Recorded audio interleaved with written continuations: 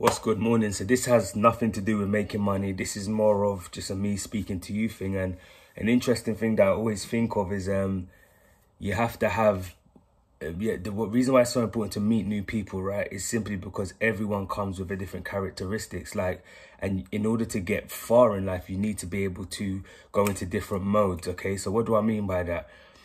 I've like a, a, role model, right? I've got different role models in my life, okay, that I draw on when I'm in certain situations. So if I'm in a room and um, I need to be a bit ruthless, a bit aggressive, you know, and stand my ground. There's people in my life that I can draw on. I say to myself, right, what do they do? How do they stand? How do they look? What's their posture? You know, um, what do they, what would, what would they say? You know, I can draw on that. And then sometimes I'm in a room where it's intellectual and articulate and I need to go into intellectual articulate mode and I go, right, who in my life have I got that I can draw on? Okay. And then I can go into that mode. You know, how do they stand? How do they look? What would they say? And I can go into that mode. Yeah. And then there's times where I might be in a room where I need to be enthusiastic and high energy, you know, and I go, bam, who can I draw on that's got those characteristics? How do they stand? How do they talk? What do they say? You know, and I can go into that mode. So that's why it's so important to collect and, and, and meet new people because you're going to be able to collect their characteristics and know how do they stand, how do they talk, what's their posture, you know, and you can go into different modes. And now some might say, yeah, but you're not being real. You're not being yourself in these rooms. Um, but there's a time to be yourself and there's a time to play the game and life is a game. Okay, and those that get the furthest know how to play it. And part of playing the game is being able to adapt and adjust with the person in front of you. So if you've got if you've got someone in front of you, right, um, you need to get along with them. You're gonna have to get you're gonna have to you're gonna have to bounce and create a vibe with them, and you can create that vibe with them, especially in business. You know, the person in front of you has the money in their pocket. You're trying to close that sale. You're trying to get the money out of their pocket, and the only way to do that is for you to get along. No one doesn't do business with people that they don't get along with. That's just fact, right? Yeah, Bobby. Go on then. Go on then. Come back. So my daughter went to go to toilet. So yeah, and that's just that's just how life is. Like the, I know people that are like, no, I will never be. You know, I'm always gonna be my same. My, myself. You know, I'm real. I don't care what people take me or like like me or leave it. And sadly, those are the people that don't really progress only because they've got one mode. They don't want to draw on other people's uh, characteristics and go into a mode and have plenty, you know, they don't want to do that. And that's fine. That's fine to not do that because once upon a time, that was me. Um, but I quickly discovered that I needed to, you know, I needed to have better role models and be able to go into different modes to flex in different rooms and it's gotten me further than I could ever imagine. So my advice to you is one, meet new people because new people are going to introduce new, allow you visually to see what different characteristics look like. Yeah, if that makes sense.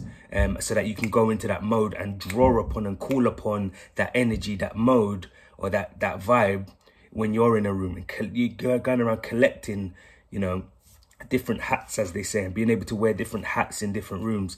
Um, and number two is try don't stay stuck in that. Yeah, I need to be the real me. Yeah, the real you. There's a saying, um, you know, ninety five percent of the time you, you only give 95% of yourself to people. You always keep 5% back. Like, no one really knows the true you.